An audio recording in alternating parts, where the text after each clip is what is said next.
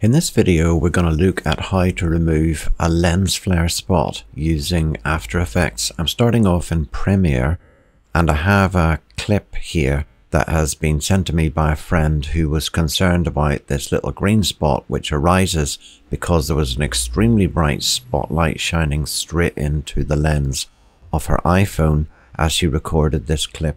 Let's just play the clip.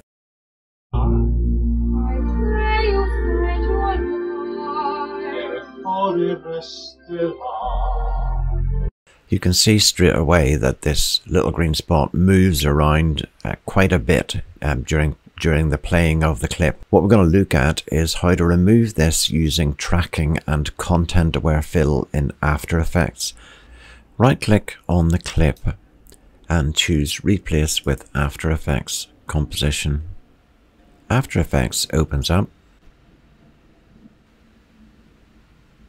and will ask you to decide where you're going to to save this and I'm just going to leave it as untitled project at the moment because we won't be needing it after this demo.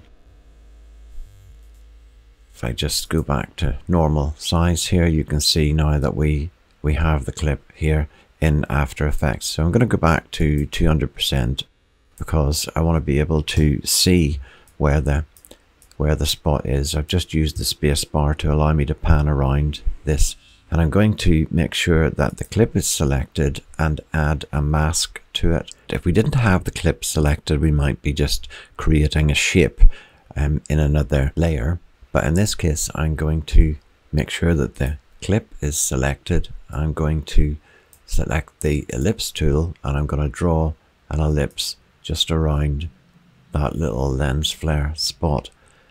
I'm going to change the mode of that to none so that we can see where it is as we track it.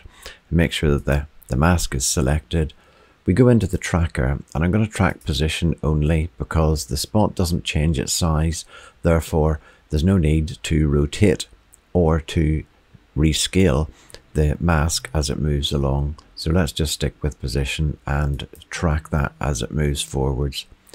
I'm just using the page up key to step back a few frames to endeavour to keep the mask covering the sensor spot. So I'm just going to move it now, um, going back to get the selection tool and just moving that mask to cover it properly and track forward again. Every time it moves to the edge of it, I'm just going to make sure that I move the mask back. Track again, watching for it going outside the mask. When it comes to doing the content aware fill, I'm going to expand the mask a little bit so that in those at those points where it goes very close to the edge or even over the edge just slightly, we can cover that okay. This can be a little bit tedious to go through, so I'm just going to fast forward through the process to the end, not to keep you waiting.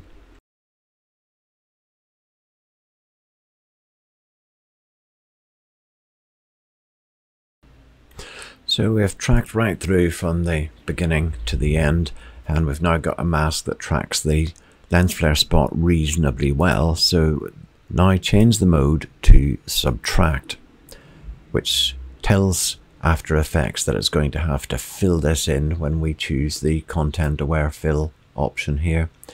So I'm going to expand this by, by about 8 pixels. That's just a guess.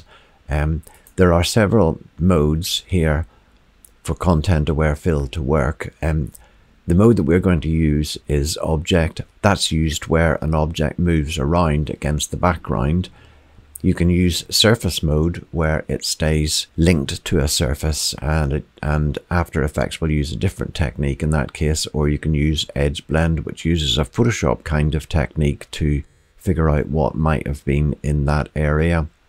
But object is the right selection for something that moves against the background so we'll stick with that. Don't need to say anything about lighting. We're doing the whole work area so we generate the fill layer from there this can take a while. So After Effects is working away and you can see that the percentage is moving up as it goes through. Again, we'll just speed the process up so that you don't have to wait for it to finish. After Effects has now finished with the whole fill process and you can see that the lens flare spot has completely disappeared and the background has been filled in perfectly around where it was. If I just move this back to fit the image in, let me just play the clip um, so that you can see how well that has removed the lens flare spot.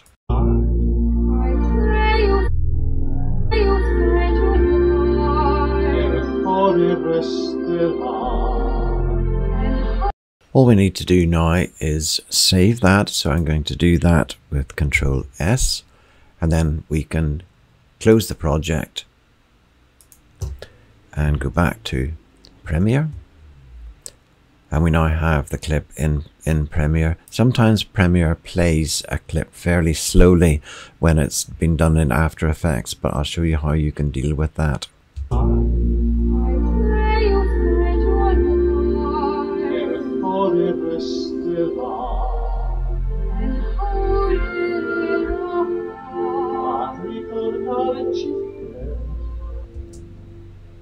And the job is done. Um, if if you find that your After Effects clip is played slowly, what you can do is right click on the clip, click on render and replace, and I'm gonna um, choose QuickTime and I'm gonna choose the Apple ProRes 422 match source.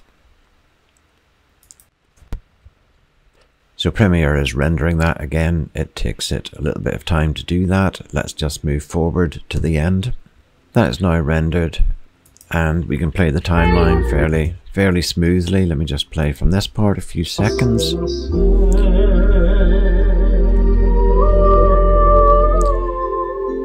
And you can see the video is playing perfectly and we have no lens flare spot within it.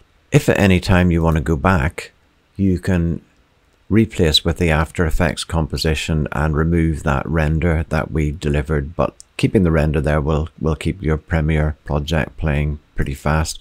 You can then export this and it's all ready to go. So if you find that helpful and you want to see more videos explaining how to do various things in Premiere and After Effects, then please give the video a like and subscribe to the channel and I look forward to seeing you in the next one.